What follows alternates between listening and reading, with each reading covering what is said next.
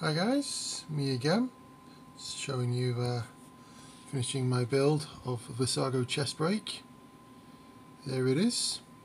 What do you think? Behind it there's the original colour scheme off the box.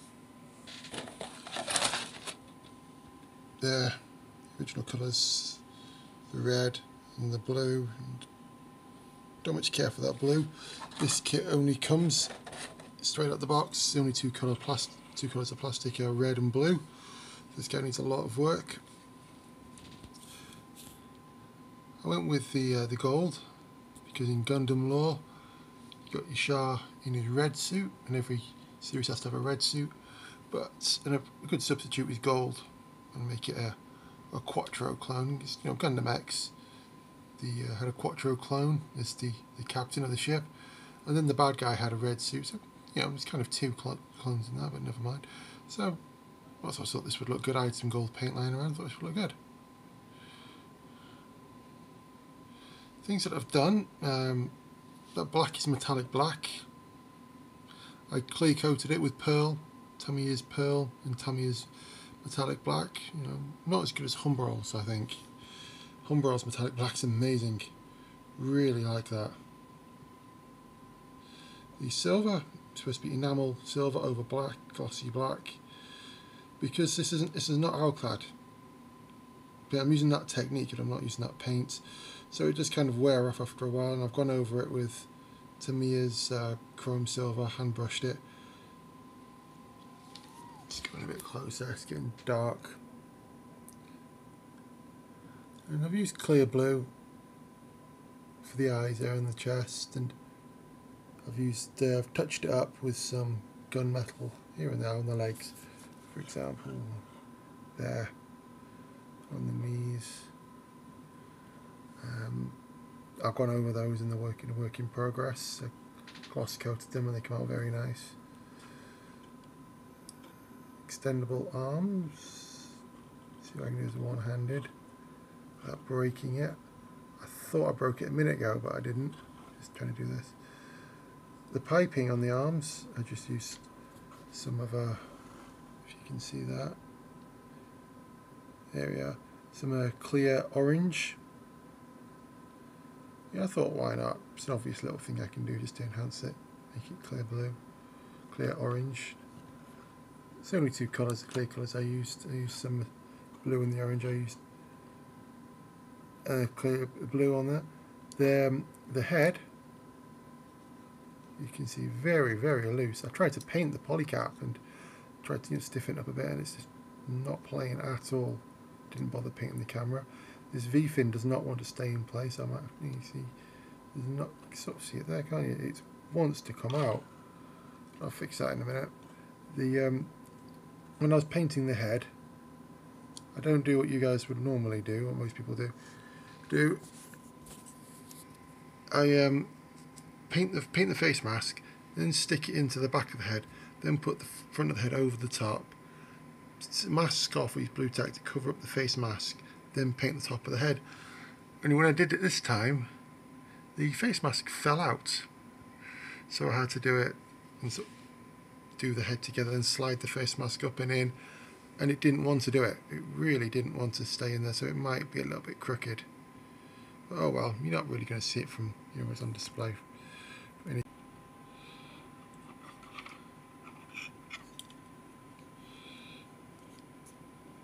To you, in your opinion, is that metallic red inside the thruster?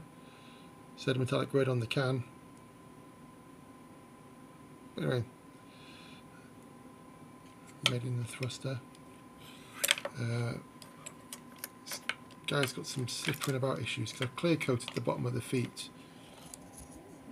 Why? Because it was there and it's just a bit slippy now.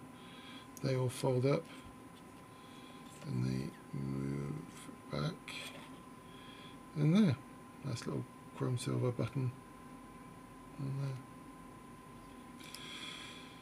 there. I talked about this before in a work in progress and the V-fins come completely off the doors and that opened completely by itself which is good so I can show you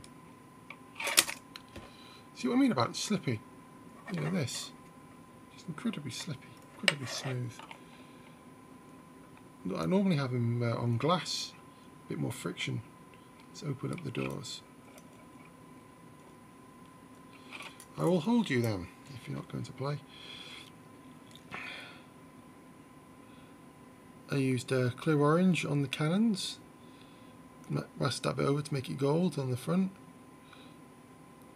I used some chrome silver to tidy it all up, clear blue.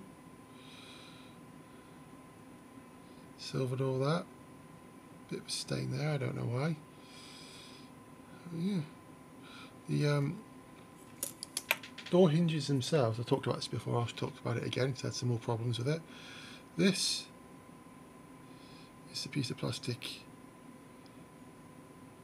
that it comes with, a hinge. Similar to the no grade heavy arms, but a bit better. A bit thicker, a bit stronger. Pretty good actually. You know, someone's put an ounce of thought into it. However, one snapped when I tried to not play with it, but just tried to test it, and it snapped. So I tried to glue it together, tried to fix it, focus, what is it with cameras and not wanting to focus? Sorry about this. Anyway, you get the idea. It's missing the top. So I got out some pla-plates and I made and I made my own hinges. I lassoed it, the door, glued the two bits of pla-plate together. Seriously, you have to flat coat the feet. Um, I sewed it together, glued it, glued the ends together and stuck it in. Only it was not right. I don't know what it was to be honest with you. It, perhaps it was the fact that I glued them to glued the ends of the pla-plate together. They just one was really loose and one was really stiff, and it just wasn't working. And um, one of them actually broke one of the pla-plates I mean actually broke broke apart. So I started again from scratch. Know called that uh, plan A. And did the same again but I wanted to use thicker pla-plate and I thought shall I just glue the thin? It doesn't have to be thin pla-plate here as you can see. Then perhaps glue that to a thicker piece and that can be the bit that goes in the model and then no you're just getting it making it overly complicated now. So I thought I'll do the same again but I will make it thinner. Not the thickness of the plate but the actual th width of the strip. Made it really long so it goes all the way back into the, the back of the model. And um, it worked. I didn't glue it together. I just slid, slid it in kept cutting it down to the to the longest possible length and now it works. I'm not pretending it's the best possible solution. I'm sure some of you guys out there who come up with a better idea. But come on, you can see it works. You back. Really should invest in a, getting a tripod or something for this. Anyway, and the V-fin. The V-fin that's it, that's that done. He's making efforts. There. As good as I'm going to get on camera. Oh, shoot, before I forget, sorry, before I forget. There. Hated myself if I'd forgotten that. The chest cannon. So these up. So yeah, it's what makes the chest break different. And the original Virsago always had the middle cannon and then had those two. So now it's got three cannons. Clear orange. And there we go. Show you from all black piping, the same black as uh, on the rest of the kit that I completely forgot about when I did it. I painted it gold. A little, bit of gun, um, yeah, gun metal in there. More piping. Oh, there he is.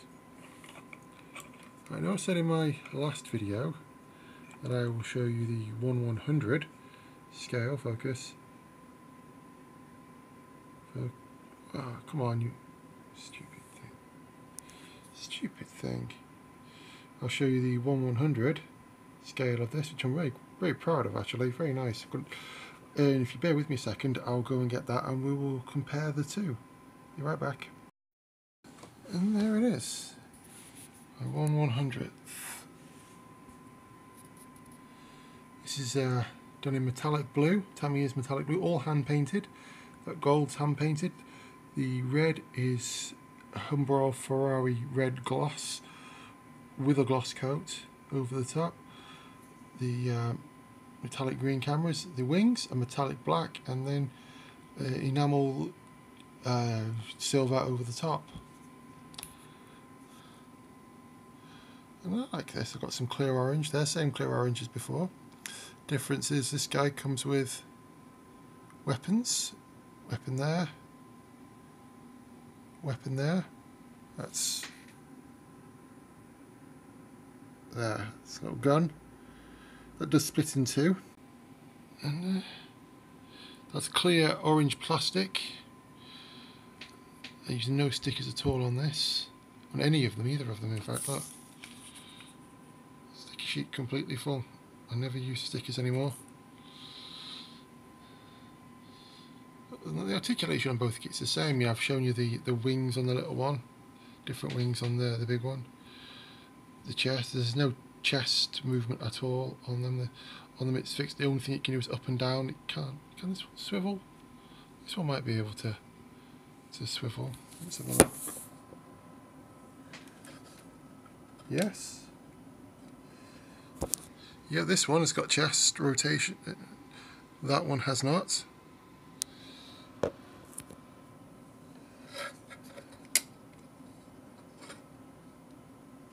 There was some nasty clicking sounds then, I don't know what that was. Other than that, the articulation on the kit's the same. Essentially, it's the same. It's just uh, that one is the mid-season upgrade. They've given the baddies an upgrade. And this one, I think Wing started that. Done some nice panel lining. This one I'm really proud of. It's all uh, metallic black, the same metallic black, uh, the same, same enamel from Humbrol metallic black. And I did some silver lining on the wings.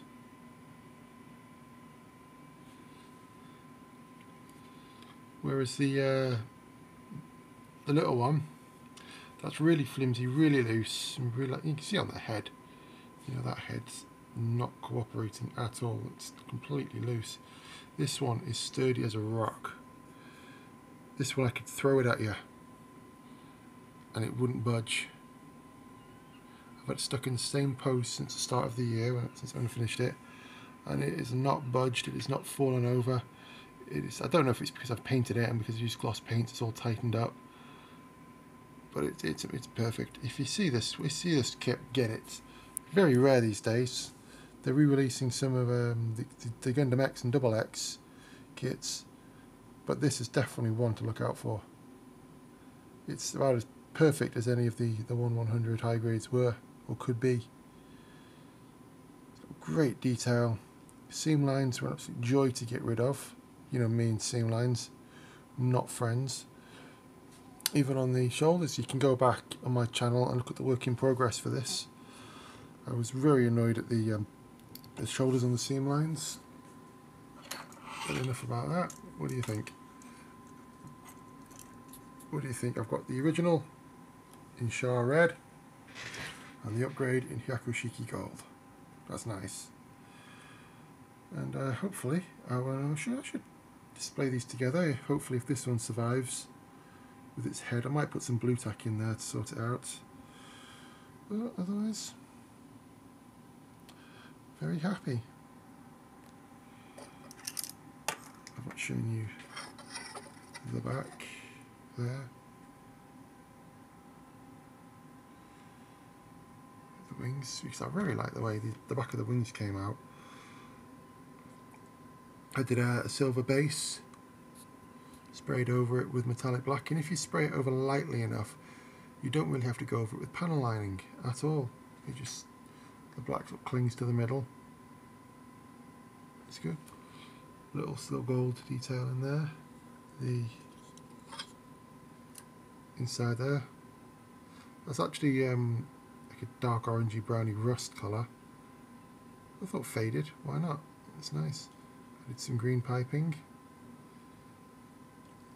Piping detail on this is much nicer on this one around the waist. It's just easier to build easy everything. So not to say this little one's bad it just needs work. All these little ones need work. Yeah, this was kind of this is what number 10 in the series one of the very last of this type the Turn A ones are very different. They were a lot different Same sort of idea, but I just felt there's more quality in them. But, and this was one of the last of the uh, old uh, 100 high grades. Anyway. Anyway, there's not much more I can uh, say to this that hasn't already been said. You know, what do you think? please uh, please leave me leave a comment. I love reading your comments. Please like, subscribe if you want to. I might go quiet for a while because I'm doing a my next project will be the HobbyLink TV's contest. And I'm going to try and do a, um, a thing. I'm not going to go into too much detail in case you get disqualified. But uh, I'm going to be upping my game for that. Doing a big, big, big thing.